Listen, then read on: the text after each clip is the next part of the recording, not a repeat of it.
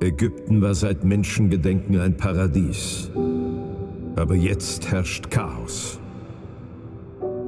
Gott des Himmels, du musst die Sterblichen schützen. Ich weiß nicht, ob ich dazu stark genug bin. Dann werde stärker.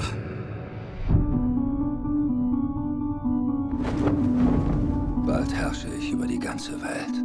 Meine Wüstenlegionen werden sie zur Rechenschaft ziehen!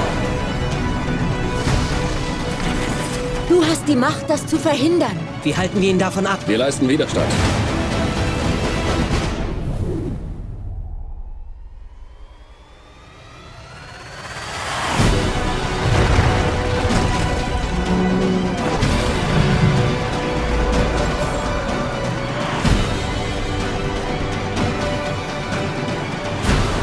Und du bist wirklich kein Gott? Wessen Gott sollte ich denn sein? Der Gott des Unmöglichen. Komm her, Dämon!